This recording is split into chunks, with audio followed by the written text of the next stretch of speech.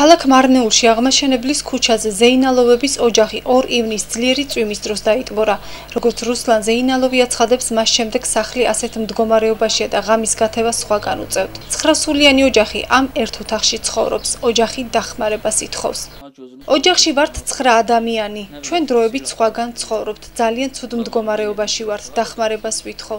სახლი არ გვაქვს. ჩემი ბავშვი ავად არის და საავადმყოფოში წევს. აი ნახეთ, აქ როგორ შეიძლება დავიძინოთ.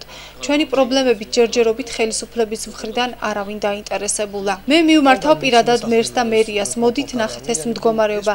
ძირითადად ეს ეხება ბატონ თემურს და ეხმარეთ ამ ოჯახს. ამ ოჯახში ყველა ნივთი სველი და ტალახიანია. ეს სახლი ავარიულ მდგომარეობაშია. ნახეთ როგორ ინგრება. ორბალიანი მიწის დრო საკმარისია რომ დაინგრეს. სოციალური დახმარება ჭირდებათ. მოდით ერთად დავეხმაროთ ამ ოჯახს. მარნეულის მუნიციპალიტეტის მერმა თემურ აბაზოვმა განაცხადა, რომ მისი ინიციატივით შექმნილია სამუშაო ჯგუფი და მოქალაქეებს გაუწევენ როგორც მატერიალურ, ისე ფინანსურ დახმარებას.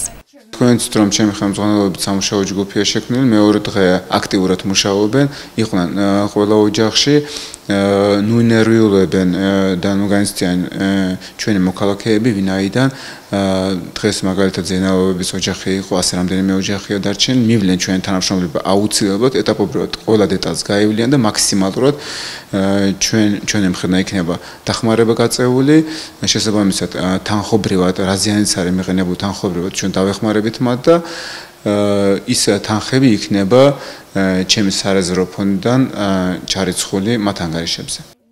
ოჯახს არც სოციალური დახმარება აქვს, მათი შემოსავლის წყარო მხოლოდ მშობლების პენსია.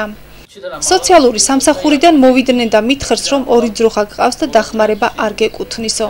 როგორც მარნეული სოციალური მომსახურების ცენტრში აცხადებენ, რუსლან ზეინალომა სოციალურ სამსახურს განცხადებით 2017 წლის აპრილში მიმართა. ადგილზე მისულ სოციალურ აგენტს ოჯახის წევრების რაოდენობა იმდენი არ დახვდა, რაც განაცხადში იყო მითითებული. აღნიშნულ პიროვნებაზე მოგახსენებთ, რომ მოგმართა 2017 წლის აპრილის თვეში განაცხადით გადამოწმებისას და ოჯახში ვიზიტისას აგენტს დახვდა ოჯახის წევრთა რაოდენობა სხვა, რაც არ დაადასტურა ოჯახმა და მიიღეს გადაწყვეტილება შეწყვეტილიყო რეგისტრაცია სოციალურ ბაზაში. დღევანდელი მდგომარეობით შეუძლიათ მოგმართონ განცხადებით, რის შემდეგაც მოხდება ხელახალი გადამოწმება მათი.